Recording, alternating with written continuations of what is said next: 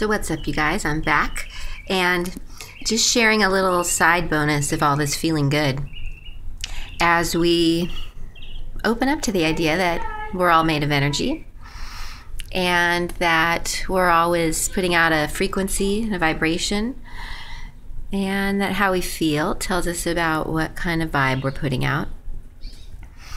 And then, as we understand things like law of attraction, just the simple physics that like attracts like, and that whatever vibration frequency we're putting out is the kind of things we're going to draw back to us.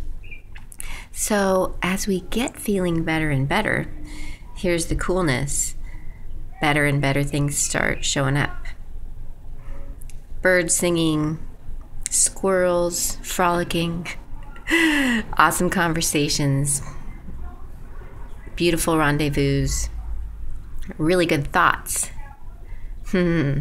Momentum of good feeling thoughts.